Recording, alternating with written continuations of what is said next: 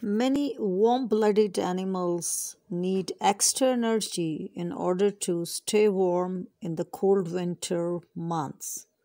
But the source of that energy, food, is scarce in winter. Some animals survive winter by migrating to a warmer place, others, such as bats, hedgehogs, hibernate or sleep in a safe and unexposed place, such as a nest, burrow, or cave. This is hibernation. Body processes slow down. The heartbeat occurs only every now and then. The lungs breathe very slowly. The body temperature falls to only a few degrees above the outside temperature, as low as 0 degree C in a hamster.